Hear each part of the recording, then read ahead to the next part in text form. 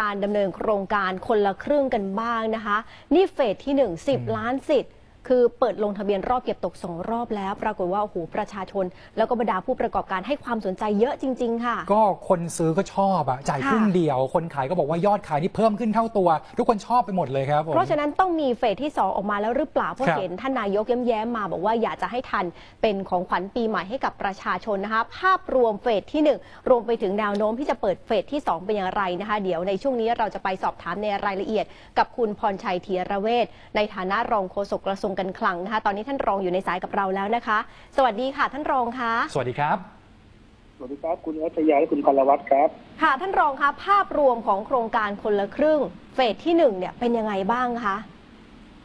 ครับเอ่อยอดล่าสุดนะครับ เมื่อค่ะ เมื่อคืนนี้แล้วกันนะครับ เพราะว่าเราตัดยอดทุกเอ่อสามทุ่มสี่ทุ่มของแต่ละวันนะครับค่ะ ยอดล่าสุดนะครับมีประชาชนใช้สิทธิ์ใช้จ่ายแล้วนะครับ ประมาณ 9.16 ล้านคนนะครับค่ะมูลค่าการใช้จ่ายรวมตอนนี้ประมาณ 22,000 ล้านบาทนะครับค่ะก็เป็นส่วนที่รัฐบาลช่วยสมทบเนี่ยประมาณ 1 0,000นิดๆนะครับ1 0,000ล้านบาทนิดๆนะครับค่ะแล้วก็ส่วนของประชาชนใช้จ่ายเองเนี่ยประมาณ 11,200 ล้านบาทนะคค่ะรับครับเอ่อที่น่าสนใจครับคือตอนนี้มีร้านค้าลงทะเบียนในโครงการแล้วเนี่ยประมาณ 774,000 กว่าร้านค้า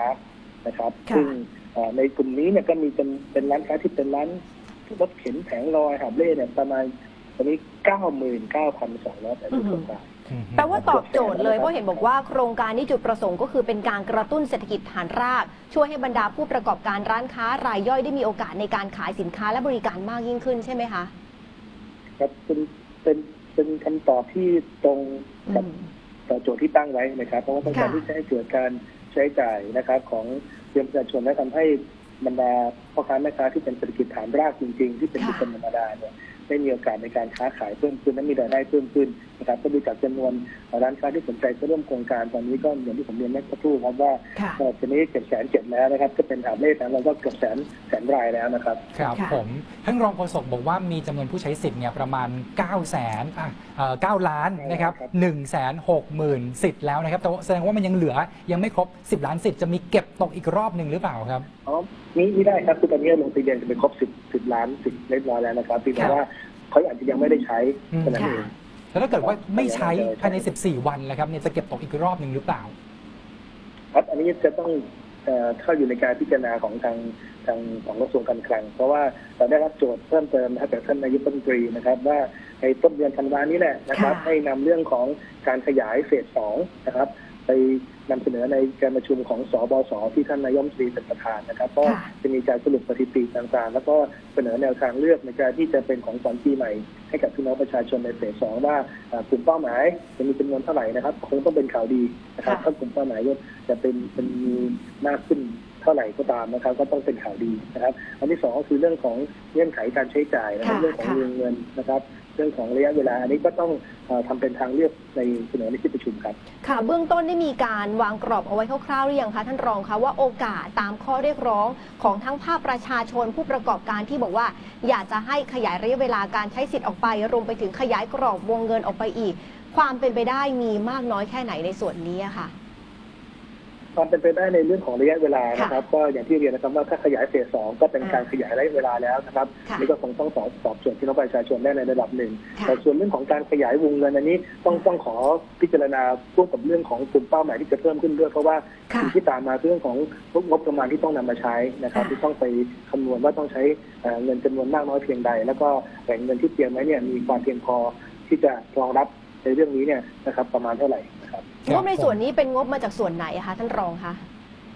ในส่วนนี้มาจากตัวพระราชกำหนดนะครับ การให้เอ่อให้กระทรวงการคลังกู้เงิน เพื่อจะแก้ไขปัญหาเยียวยาฟื้นฟูนะครับผลกระทบจากโควิดครับค่ะครับผมซึ่งก็ยังมีงบประมาณเหลือสามารถนำไปต่อเฟสสองได้ใช่ไหมครับในในในส่วนนี้คงต้องต้องเรียนว่าก็มีในจำนวนหนึ่งแต่แต่เราก็ต้องเตรียมไว้เผื่อเผื่อต้องบอกว่าเผื่อนะครับเผื่อว่า มันมีเรื่องของระลอกสองซึ่งเราต้องไม่เราไม่ไม่ทราบเรื่องของความไม่แน่นอนอืมและทุกอย่างต้องมีการที่คำนึงถึงความเสี่ยงที่จะเกิดขึ้นด้วยครับครับนะครับคราวนี้สำหรับคนที่ได้ลงทะเบียนเฟสหนึ่งไปแล้วเนี่ยนะครับ การจะไปเฟสสองต่อเลยเนี่ยนะครับ จะเป็นอย่างไรบ้างครับ คือจะต้องไปลงทะเบียนใหม่อีกรอบนึงหรือเปล่า หรือว่าจะได้รับสิทธิ์ไปเลยโดยอัตโนมัติครับท่านเอ่อในในเรื่องนี้นะครับ ก็ในเมื่อเรามีกลุ่มลูกค้าที่เป็นลูกค้าที่ดีอยู่แล้วนะครับ นั้นในการที่จะขยายต่อไปเนี่ยนะผมว่ากระบวนการก็คงจะไม่ยุ่งยากนะครับแต่ว่าวิธีการอย่างไรเนี่ยเดี๋ยวทางฝ่ายเทคนิคเขาจะไปดูก่อนนะครับ ค่ะ เพราะฉะนั้นแล้วเนี่ยถ้าเราดูภาพรวมตอนนี้โครงการคนละครึ่ง สามารถตอบโจทย์ที่รัฐได้ตั้งเอาไว้เป็นอย่างดี นอกจากนี้ก็ยังมีโครงการช็อปดีมีคืนยังจะมีโครงการอื่นๆ เพิ่มเติม นอกเหนือไปจากโครงการเหล่านี้ เพื่อกระตุ้นเศรษฐกิจให้เดินหน้าอย่างต่อเนื่องได้ไหมคะท่านคะเอ่อใน ในคำถามนี้นะครับ ผมต้องเรียนว่าเป็นสิ่งที่ที่อาจจะต้องไปพิจารณาเพิ่มเติมค่ะแต่ว่าอย่างไรก็ดีนะครับ ผมต้องเรียนอย่างนี้ว่า ตอนนี้มันมีแพลตฟอร์มที่สมบูรณ์อยู่นะครับมันมีเรื่องของการที่จะใช้จ่ายนะครับ ของผู้ที่ต้องการใช้จ่ายเงินนะครับแอปแอปเป๋าตังค์ค่ะนะครับส่วนกรณีของผู้ที่จะรับเงินเนี่ยแล้วก็มีแอปถุงเงินรองรับอยู่เพราะฉะนั้นแพลตฟอร์มนี้นะครับสามารถที่จะเอ่อรองรับการนำเสนอหรือวิเคราะห์การออกแบบนโยบายรูปแบบต่างๆ ได้นะผมว่า ก็เป็นเรื่องที่ไม่ไม่ยากนะครับก็สามารถอืมจะทำดำเนินการได้ ครับ ผมด้วยความที่ประชาชนสนใจลงทะเบียนใช้สิทธิ์กันเยอะ แล้วก็ร้านค้าก็เริ่มเยอะมากขึ้นนะครับ พบปัญหาร้องเรียนอะไรเข้ามาหรือเปล่าครับระหว่างนี้ในช่วงนี้ก็คงมีสองสามเรื่องครับ เรื่องแรกค่ะเป็นเรื่องของการที่ร้านค้าบางร้านค้าแต่มีมี